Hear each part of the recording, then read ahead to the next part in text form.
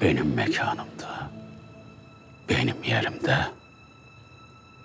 benim koruduğum adamı öldürdünüz. Bizim meselemiz Necip'leydi. Ha sen diyorsan ki ben bu meseleyi şahsi algılarım. O zaman söyleme arabalara da bassınlar tetiğe. Sonra çok geç olabilir anladın mı? Belli ki görmüşsün. Racon bilen adamsın. Ama bu kabadayılık işleri mazide kaldı. Mekanımda adam öldürüp öyle elinizi kolunuzu sallaya sallaya gidemezsiniz. Öldürecek misin bizi? Ha doğru. Özür dilerim unutmuşum. Sen ağaydın. Sen söylersin, arabaların yapar. Değil mi? Değil mi Yılmaz?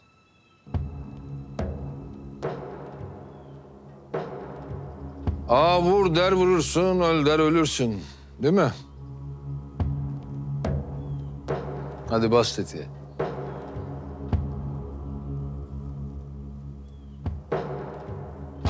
İbrahim, ne diyorsun? Yılmaz tetiğe basabilir mi?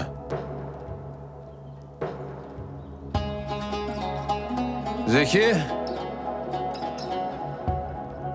Senin çocuğun durumu ne oldu oğlum?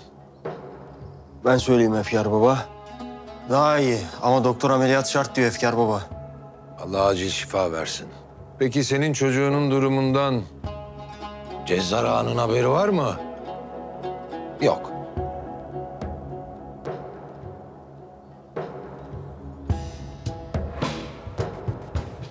Şükrü, senin ev işi ne oldu? İki aydır kirayı ödeyemiyor.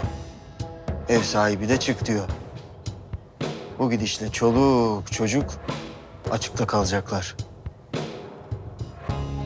Ya Cezzar Ağa, bundan haberin var mı? Yok.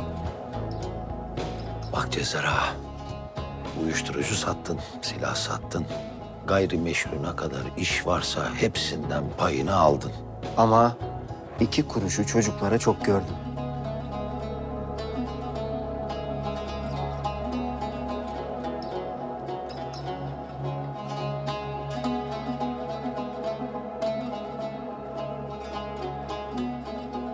Ağalık vermekle yiğitlik kendi tetiğini çekmekle olur Cezzar Ağa.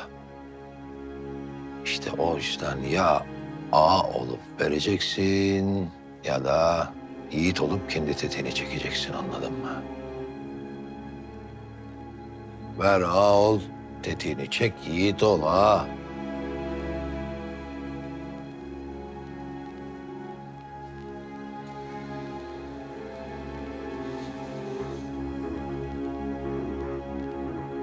Şimdi bu racon sana mı kesildi, Necip'e mi kesildi? Sen karar ver Cezzar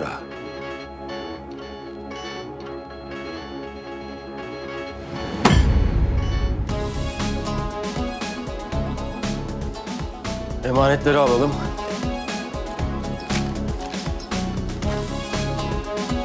Malum daha çok işimiz var.